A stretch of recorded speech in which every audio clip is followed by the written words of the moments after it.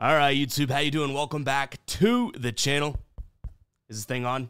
We just recorded the entire episode uh, for today's NBA show with no audio. It's been posted for like 40, uh, 30, 40 minutes or so. Uh, and yeah, the audio is just corrupt on the file. So we're redoing it here. So forgive me if we kind of speed through it. Uh, this is uh, this is tough and annoying. But nonetheless, welcome back to the channel. We got a five game NBA slate to dive into in today's video. Like we always do, we're going to go through each and every one of these games. I'm going to give you my lean on the spread. I'll give you my lean on the total. We'll talk about any player props that I like within the game as well. But as always, keep an eye on the pinned comment for all of my final plays. That is where all of my final plays, what we actually count towards the record, will be. If you do want to fade me or if you want to ride with me. But uh, yeah, hit that subscribe button, hit that like button. Uh, didn't think we'd be doing this video twice today. So let's go ahead and jump in. We have the Heat taking on the 76ers in this spot. A uh, few injuries to note. Unfortunately, we may, uh, this could be a really good game, right? But we may not see Maxey. He's questionable. We may not see Tobias Harris. He's questionable. And Joel Embiid is questionable as well. He did come back last game. Um, I do think there's a little bit of, you know, playoff implication here for both sides. So I'm hoping everybody does play. But like I'm saying, uh, there is a chance that we see, uh, you know, uh, a sort of makeshift version of this Heat roster, uh, excuse me, of the Sixers roster. On the Heat side of things, uh, kind of business as usual. We have Tyler Herro is out, and then um, you know no one else on the injury report. So should be a healthy enough team in terms of uh, what we're seeing on the Heat side of things. Heat right now three and a half point favorites, total at 209 and a half. And, you know, it's funny because I've already gone through all these games, so I feel like I'm like reading a script here. Uh, but I like the Sixers if they're healthy in this spot. If they're not healthy, if all three of those guys uh, don't play, like even if, Ty, uh, you know, Tobias Harris is out, uh, you know, the one of the three, probably the third most important, I'd probably pass on it. But um, I didn't really like what I saw out of the Heat last game. Uh, yes, they beat the Knicks 109 to 99. It looks pretty good, but that literally took a million points from Terry Rozier. Uh, Bam Adebayo turned it on late in the game, but he didn't have have the best game. Jimmy Butler started off hot and just went absent, and then no one else really stepped up other than uh, Haywood Highsmith. So to me, that wasn't like a great Heat game. And if this is gonna be what you know looks like Vegas is predicting a low-scoring game, I'll take the three and a half points if the Sixers are healthy. Um, so keep that in mind there. I know Vegas has us at 209 and a half, right? I do think, you know, the Sixers score more points when Embiid's in there. If they get Maxey back as well, we should see a little bit more up tempo. And I don't necessarily know if the Heat are going to have all of the defensive answers there. Like, yeah, it looks great that they stopped um, the Knicks, you know, and, and, held them to 99 points, but the Knicks didn't really have their best game overall either. So, uh, again, like, yeah, the Heat win. It looks impressive. They weren't firing on all cylinders. So I don't think that this game goes under. Slight lean to the over in my spot here. And again, this should be a game where these guys want to play. Uh, right now, the Heat sitting in the sixth seed. Um, they're tied with the Pacers, uh, essentially games back wise, but um, you know one less loss. And the Sixers here, a game and a half back from that seven slash six seed as well. So uh, you know with only a handful of games left in the year, that game and a half could be a big deal here. So I do think that you know we should see Embiid, we should see Maxey. Like unless they're saying, all right, we've really got to be healthy for the playoffs. This game doesn't matter. We should see them today. So if they're healthy I think I do end up leaning towards the, uh, the, the Sixers in this spot. The Sixers don't have a back to back. This is the first leg of a back to back for the Heat as well, so I'll throw that in there. And then from a player prop perspective, we're obviously waiting for um, a lot of these game time decisions to be sort of confirmed. So no player props as of right now. Next up, we have New York taking on the Kings. Right now, Knicks, three and a half point favorites at home, total sitting at 214.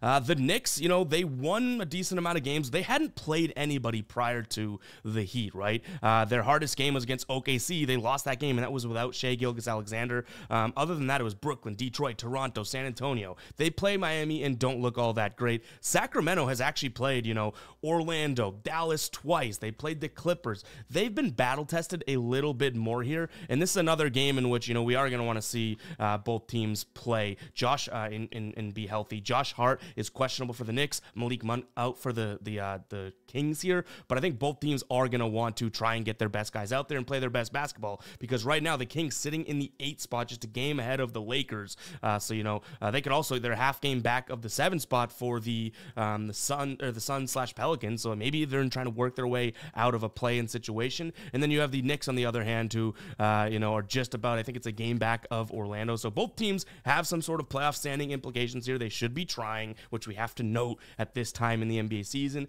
But I think I'm going to take just like I did with game number one here on the slate. I think I'm going to take the points. This Kings team has covered um, in plenty of games on the road. I believe it's 60, yeah, 62% of games they've covered on the road this season. Um, you could make the argument that you know they're looking ahead to the Celtics tomorrow night, which isn't necessarily the best spot. The the Knicks also on a back to back here, but I would say for Sacramento, it's like if you have two games, you have the Knicks, then the Celtics. Regardless of what happens in this game, it's going to be damn hard to win that Celtics game. And wins, you do want to win games still for both these teams, right? At this point in the season, via the playoff standings and whatnot. So I think Sacramento goes balls to the wall today and tries to take an outright win against the Knicks. And again, this is more strength of schedule based on their last five or six games uh, than anything. Like the Knicks, they play one good team and they get beat by 10 points. The Kings, I'd put in that good team territory. Definitely better than, uh, you know, the aforementioned teams, uh, Thunder without Shai, um, San Antonio, Toronto, Detroit, Brooklyn, right? Uh, and last time they did play, I believe it was in Sacramento, and the Knicks won by by a handful, right? So this could be a little bit of a, uh, bounce back sort of uh, revenge spot for the uh, the Kings as well. Which these two teams have been pretty damn even uh, as of late against one another. When it comes to player props, uh, and I can't believe I have to say this again now because we uh, we, we talked about it already. In and well, you guys didn't hear it because there was no audio, but I like De'Aaron Fox under 25 and a half points today tough matchup versus the Kings. This is obviously predicted to be a pretty low scoring game in which I do like the under as well, uh, just because I think that's where the Kings, um, or that's where the Knicks kind of put their mark on this game and slow it down. And the Kings haven't been playing that fast either. They're bottom 10 team in terms of pace over their last 10. But I like Fox. He's hit this in three straight, two straight games against the Kings here. He's hit the under in nine of his last 10 games. Um, and I also don't mind taking a flyer for plus 120. You could take over six and a half assists. It's a lot. I understand that. But he's been averaging nearly 11 potential assists per game against the uh, the Knicks here in his last two meetings. He's averaged 13 potential assists. He's on seven and nine assists against them. If the Knicks blitz him or anything at all, assists may open up for him. So in terms of ranking those, I like his under 25 and a half points because I think it's just a little bit too high. Um, and I also, you know, secondarily, maybe a sprinkle on a plus 120 play at over six and a half assists. All right, guys, before we do jump into the rest of the show, I do want to talk to you about OddsJam. If you guys have not checked out OddsJam yet, I'll have a link in the pinned comment. You get seven days free. Use code GUYBOSTON. You get 25% off. But we're on the positive expected value screen right now, which what this does is it identifies mistakes by sportsbooks in the market. For example, NC State here, plus eight and a half in their game on Saturday, plus 105 over on Fanatics. It's minus odds on average on sportsbooks, minus 105 on DraftKings, minus 105 on on um, ESPN Bet, minus 115 on Caesars. You can get this at plus 105 on Fanatics. And if you don't believe me that this stuff works, we've been tracking our plus EV bets for the last few months here. Um, and let me open it up. Actually, you could see start to April here, three straight profitable days. We date back to this year, right? January, we had a crazy good green all over the place day. Um, we had a February of, you know, just under 300 bucks. March, we were a little bit lazy, kind of busy. We didn't bet positive EV every single day. Still profited in April. Again, off to a crazy start of plus 324 in terms of that. And again, that's literally like set it and forget it type betting.